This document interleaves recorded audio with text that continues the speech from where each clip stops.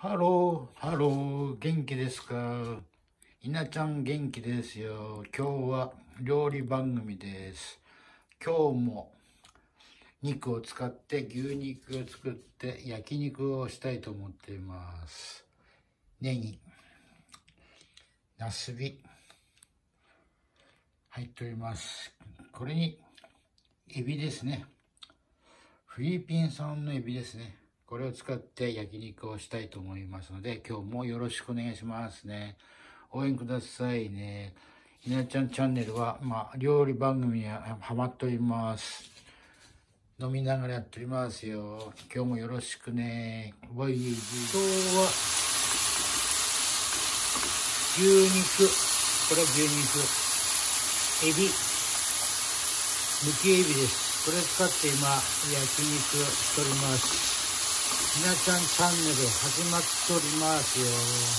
料理番組です。またアドバイスくださいね。イェイイェイイェイイェイ。よろしくね。あとは野菜これですね。今入れますね。ネギ。入っておりますよ。野菜入れました。こんな感じです、エビ。に牛肉ネギもやし。今回はもやしを入れました。これもやしですね。もやしを追加しました初めて追加しました。もやしを入れてみました。ネギなすび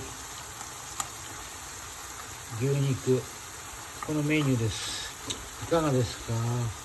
ちょっとチャレンジしております。今日も楽しく料理番組をやっておりますよ。えいえい、なちゃん飲んでます。焼酎のお湯割り、お湯ですよ。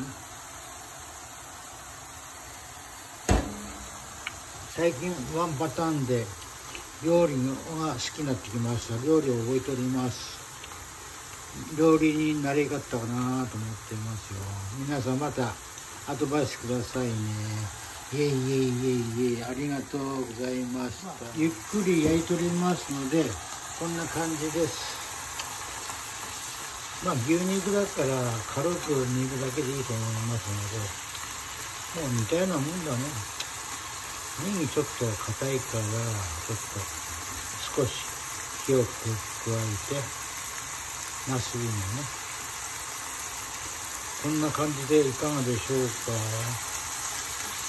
料理番組のその他さん、奥野さん、こんな感じでいいんでしょうかね。奥野さんも見てやっております。皆ちゃん、TV チャンネルです。こんな感じですけど、いかがです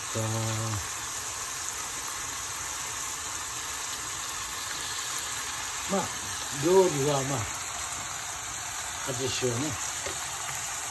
いつも最近覚えてる奥田さんにみりん入れておりますで麺は塩コショウこれですね。油はこれ。ごまだれですね。これを使っております。そのためまあ焼肉のこれもタレね。こんな感じで始めておりますがいかがでしょうか？なんかアドバイスありますか？混んでいいんですよね。まあ、いや、まあ、キャンプブームですから、屋外で1000円いいんですけど、まあ私は年寄りですから、さ室内でやっております。イェイイェイイェイイェイ。また、いいね、よろしくね。今日も見ていただいてありがとうね。まだ始まったばっかりですけど、よろしくね。